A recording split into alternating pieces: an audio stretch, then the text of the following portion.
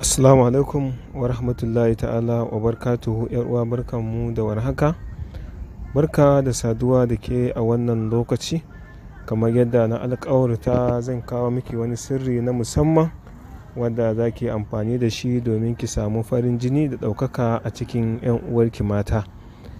uwa idan kina tare da ni wani lokaci na taɓa baki wani sirri na musamman wadda za ki amfani da shi domin ki samu farin jini a gidan mijinki wato ki samu ɗaukaka ga mai gidanki ya so ki so na hakika. Hakika idan kika yi amfani da wannan sirri na tabbata cewa za ki zamanto tamkar farin wata a cikin taurari. Amma ki biyo ni sannu a hankali zan faɗa miki wannan sirri na musamman.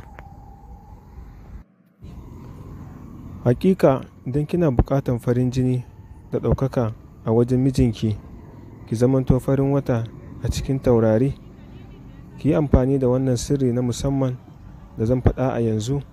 Sa'an nan kuma ki dinga jarraba shi kullum da kullum a ko da yaushe.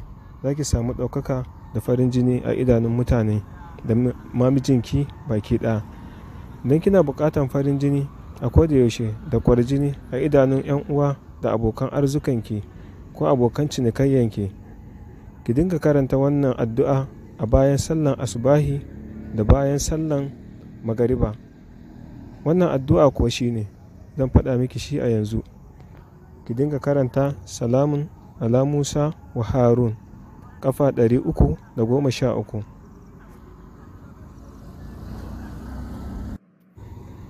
Musamman dan kin idar da sallah ki yi wannan wuridi ɗari uku da goma sha uku kamar yadda na faɗa miki a baya. Salamun ala Musa wa Harun ɗari uku da goma sha uku.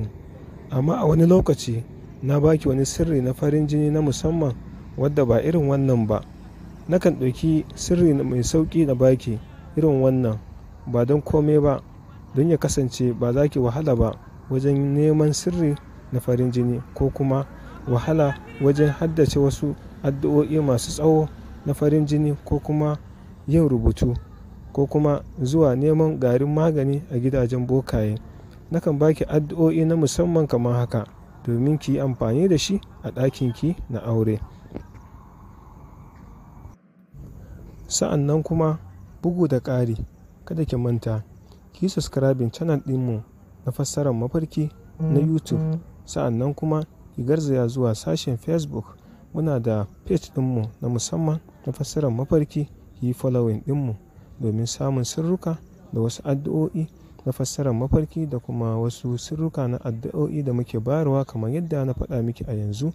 Duk wasu abubuwa da ya kamata ko kuma abubuwa da ya kamata yi amfani da su za ki same su a wancan wuri ko kuma a channel namu na YouTube.